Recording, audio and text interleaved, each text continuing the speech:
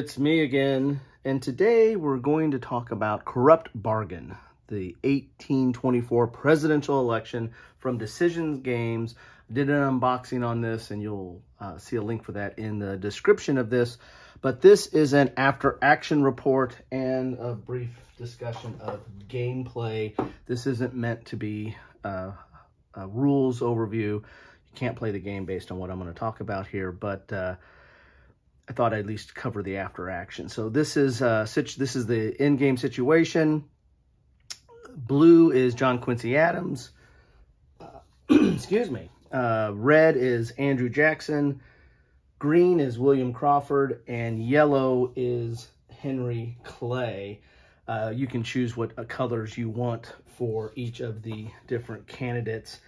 But if you wanted to follow, you know, in the book, they kind of have a the, whole back seven to eight pages of this is all history of the of the rules book, and they had uh, red for Adams, green for Jackson, blue for Crawford, and yellow for Clay. But uh, you know, you can do what you want, and they actually say in there you can pick whatever color you want. Um, and this was the final situation here. So what uh, uh, went 10 rounds on a four-player game. You go 10 rounds and the final electoral college count was 94 for Clay, 77 for Adams, 50 for Crawford, and 40 for uh, Jackson. So Andrew Jackson didn't even get a chance to complain about the corrupt bargain this time around. Um, Crawford really, uh, uh, Crawford and, and Adams kind of got into a, a fight over uh, some of the northern states. Uh, and then that allowed Clay to kind of sneak in at the end and get some some positioning in the northern states, especially kind of snuck into Massachusetts, into uh, John Quincy Adams' backyard and took that out, uh, as well as, you know, New Jersey.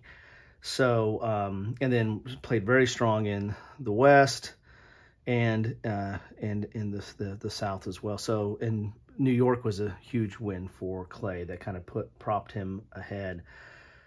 Uh, Andrew Jackson started out relatively strong, but then um, it was kind of a uh, you know chase the leader and and take take out the leader uh, type situation, and he eventually uh, you know fell out of contention with only 40 electoral votes.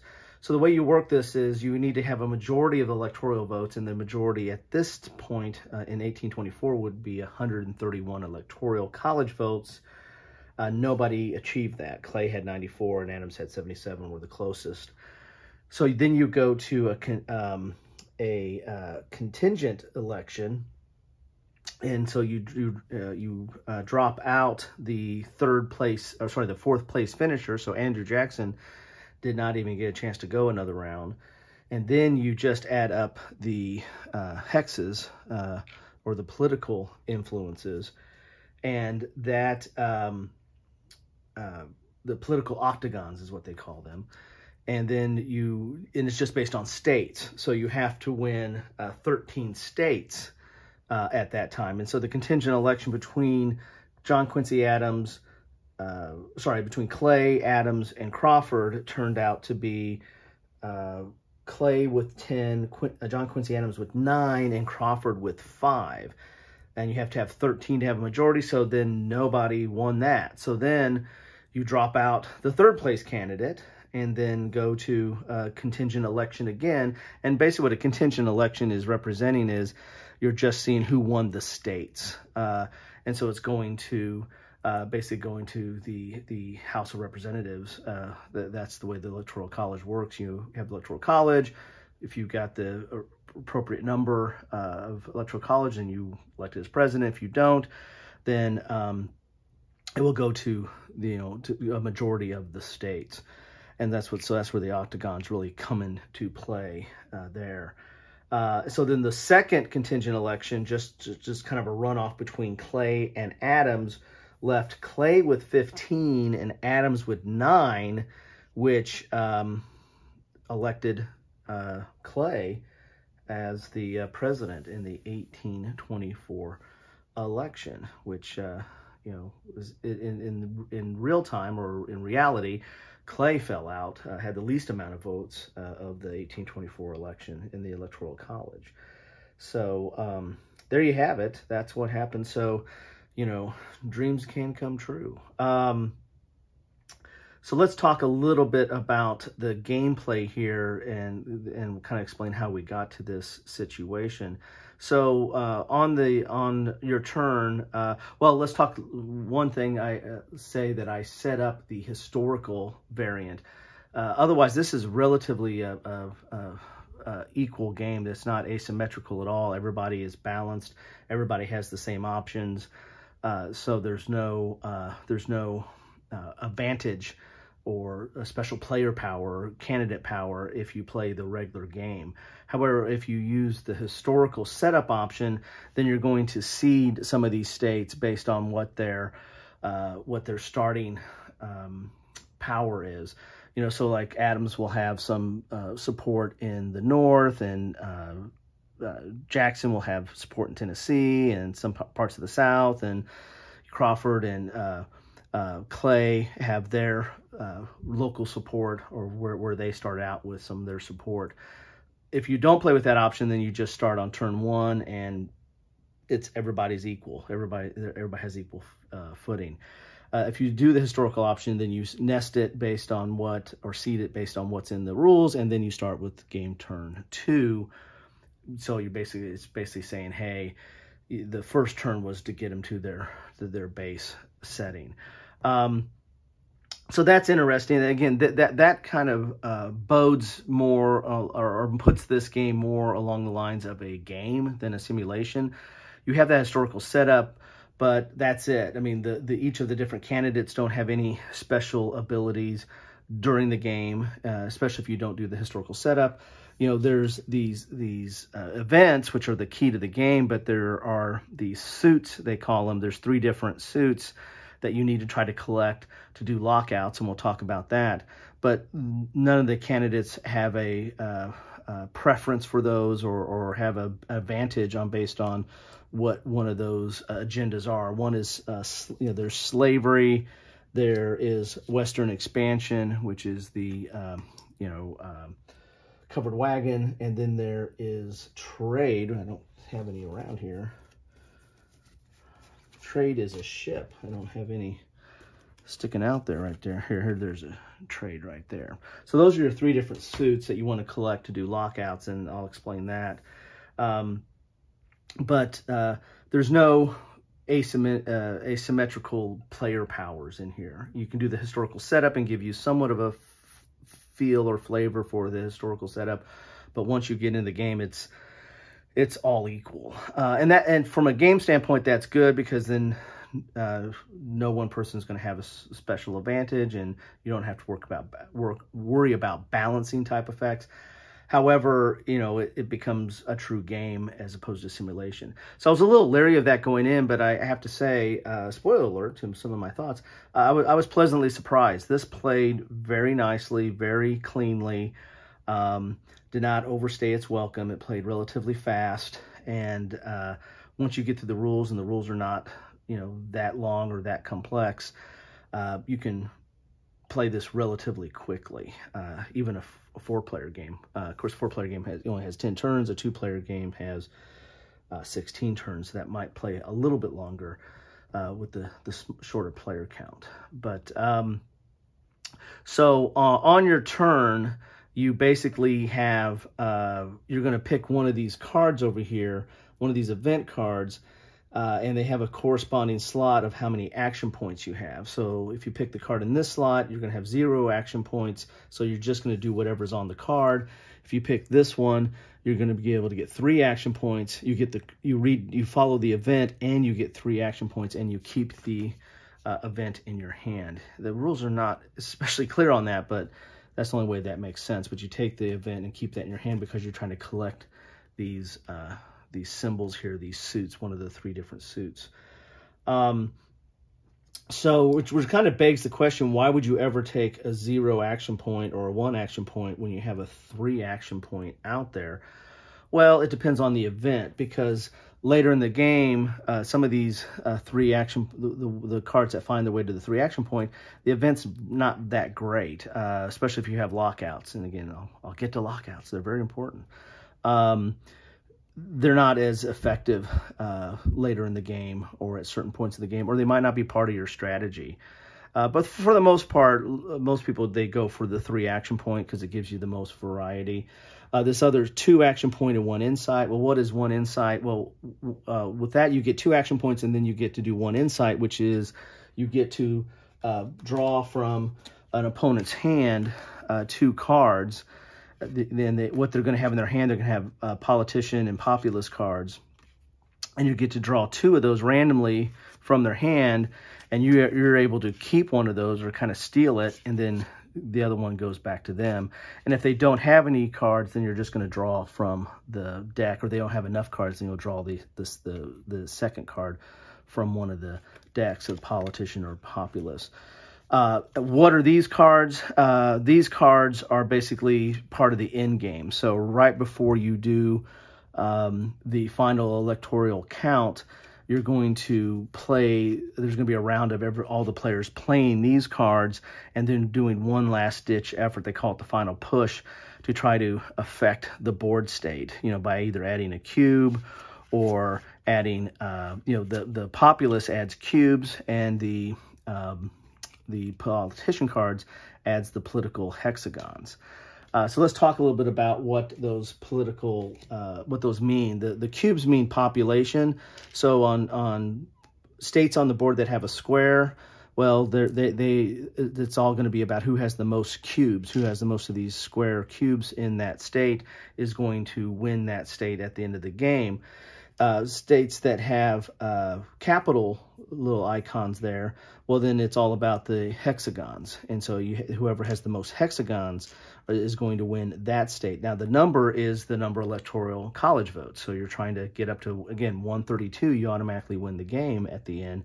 So you're trying to, you know, you're either you doing population with cubes or you're doing uh, adding hexagons uh, to, try to take out the capital. And again, the hexagons had that added effect of if there's no clear uh, electoral college winner, then the hexagons are going to come into play because that's going to see who controls the state. Uh, they also factor heavily in tiebreakers, and I'll talk about that in a second. So, so the the goal of the game again is to win the presidency. You have to get 131 electoral college votes. The way you get that is by winning these states. The way you win these states is some states have population that you want to win. Some states you want to have uh, hexagons uh, to have political control to win the game. Um, so those those uh, politician and populist cards come in effect at the end of the game after everybody all all the rounds whatever if it's a four player game 10, 10 rounds have been played and then you'll uh, go through a round of playing populist or politician cards and then after that then you'll start awarding you know the, the the state cards and see who has the most electoral college votes so on your turn, you're going to do you're going to do, you can do the you're going to pick an event. You're going to do whatever it says on the event. Sometimes these add cubes. Sometimes these add hexes. Sometimes these allow you to uh, draw population or uh, politician cards. Sometimes they remove cubes uh, or uh, hexes, or sometimes they let you to, you know re- remove uh, one of your rivals' stuff. So they they do various things. Uh, as I said, the most optimal usually is the three action points but sometimes there's something down here like you know you, you're you're trying to collect that one symbol there. And so you might take a, a less optimal uh, action or insight choice but it the event works better for you. So let's talk about the actions. The actions you get to do on your turn is you can for one action you can uh, place a, a, a political uh, octagon uh, in one state. So you can place one of your uh, octagons. I was calling them hexagons earlier. Uh, you can place a cube, so you can place uh, one of your popular votes. You can uh, uh, draw a politician card, or you can draw a populist card, or you can do political intrigue. Political intrigue is where you remove one of your octagons and you can remove two of a rival's octagons. So you're going to lose some of your support, but you're taking out someone else's support in an area. That becomes very important in, in these capital areas where you see uh, the capitals, and they also come important in tiebreakers. We'll talk about that. And then the insight, we talked about that. Uh, what happens when you get the insight? Uh, that's not an action. That that you can only use the insight on these if you pick an event from these two areas there.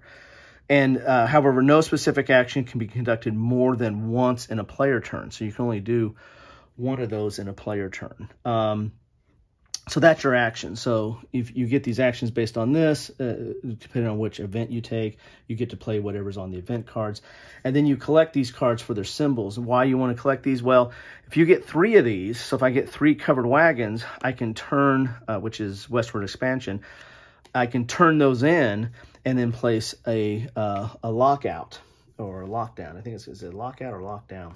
Anyway, I place one of these black uh, uh, cylinders on the board, and that means nothing can be taken, put in or removed from that state. So, for example, Andrew Jackson uh, placed this, uh, turned in three cards, turned in three of the same suit, and then um, placed this lockout here because he was at four to three, and that uh, that means that that Tennessee's locked down now, meaning that nobody can put anything in there, nobody can take anything out of there he's guaranteed to win that at the end of the game. And so wherever you see these black uh, cylinders, that's what someone did, when a player did or a candidate did to lock down that state to assure that they've got it now. There's no more cubes going in or out of that state. Um, and so that that's a key notion because number one, uh, it guarantees you that state, and and nobody can and and you know and these these are locked in. You're limited to whatever many cubes you have. Uh, so that person can't get those out of there if they want to move it to somewhere else or you know use it for some uh, later turn. That's locked down.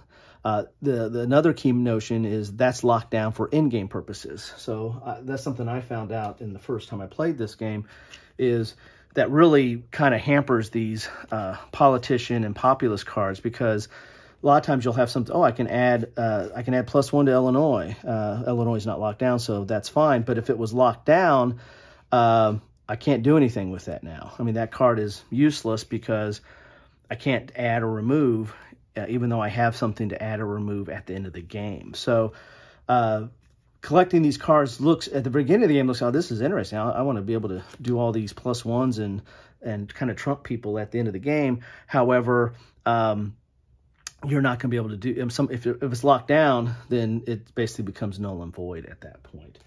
Uh, so that's something to keep in mind as well. So let's talk about the tiebreaker because that is very key in this game because uh, that comes out that comes up a lot because this is a very tight game. I, I don't uh, uh, I don't know how how you, you could get to 131 in this game. Maybe if you're playing the two-player game, maybe, but uh, I don't know how you get to 131 in this game. Uh, the um, to get an automatic victory because it, it's just so tight.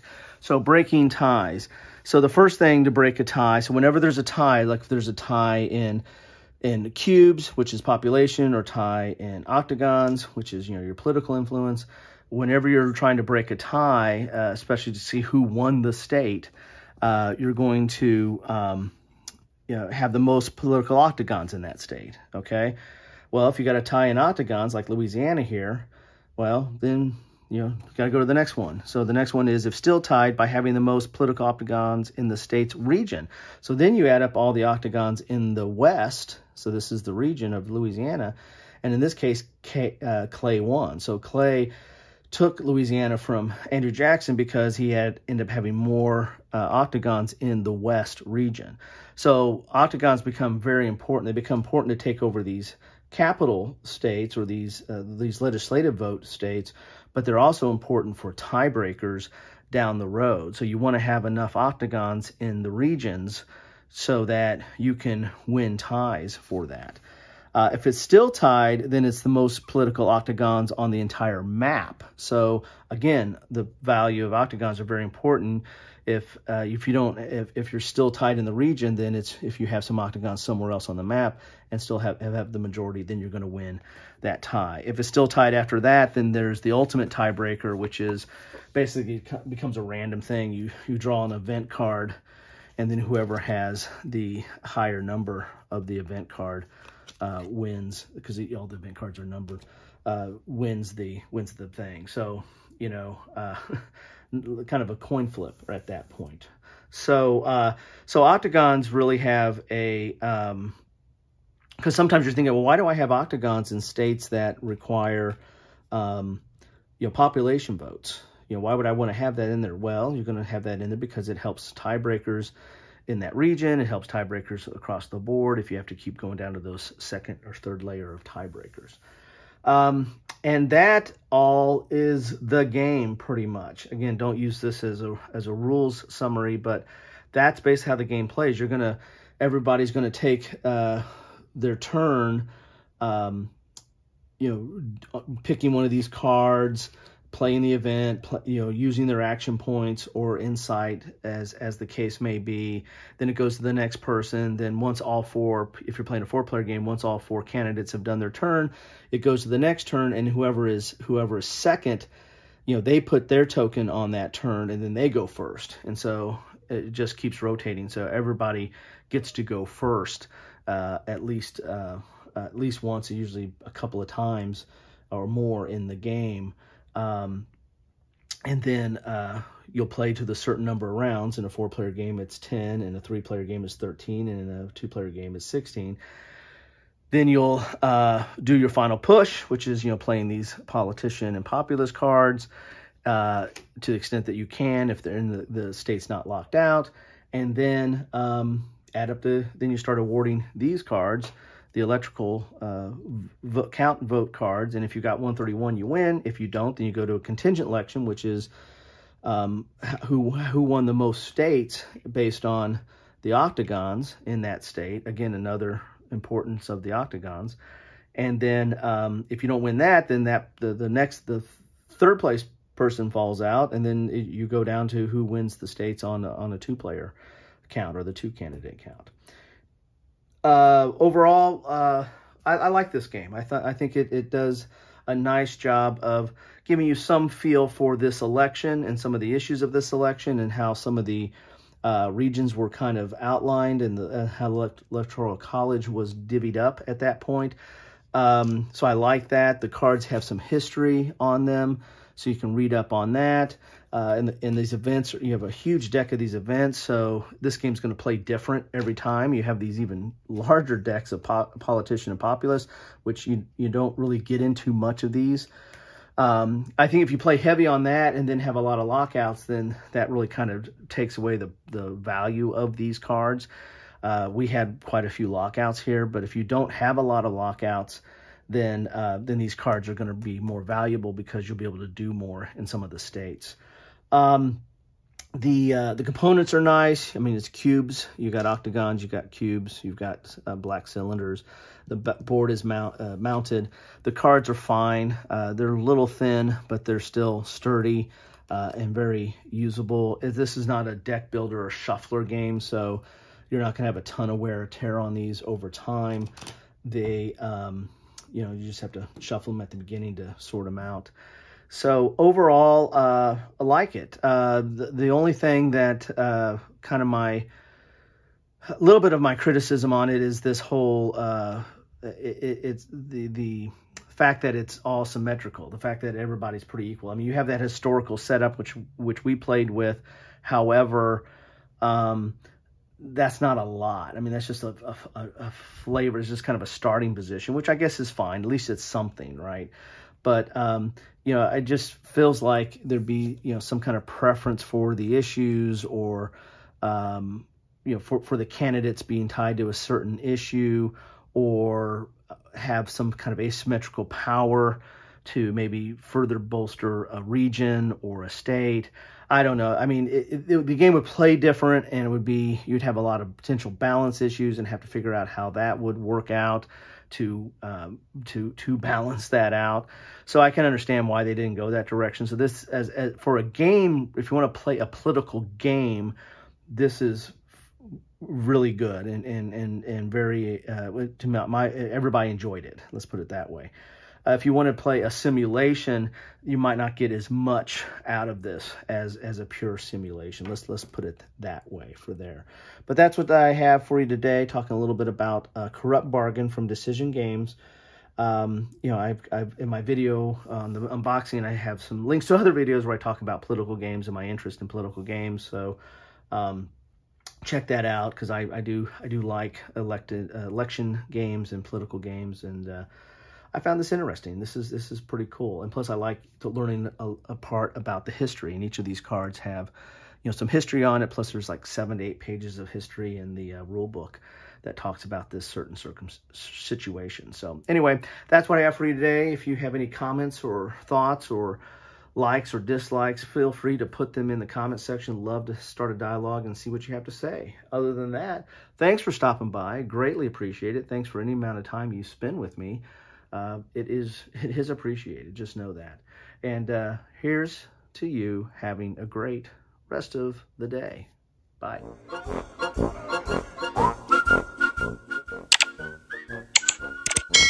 Thanks for watching.